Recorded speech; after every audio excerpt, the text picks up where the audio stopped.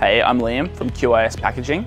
Today, I'm going to take you over our range of paper grocery bags and towards the end, I'll show you how to save 15% off your first order. To clarify, there are two types of bags that we'll be talking about. The traditional brown paper grocery bags and the smaller flat paper bags. We supply grocery bags in six different sizes, ranging from 80 to 125 GSM, which may not mean much to you, but anything less and the customer's bag will tear under the weight. That means when you buy from QIS, you know you're buying quality. We also offer lunch-style paper bags in a variety of different sizes. Nine different sizes in white and 12 different sizes in brown.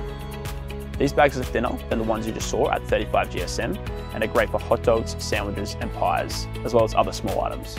The reason we can offer wholesale prices on our kraft paper bags is because we import them by the container load, so we can cut off the middlemen and pass the savings onto you. At QIS, we pride ourselves on customer satisfaction and fast delivery.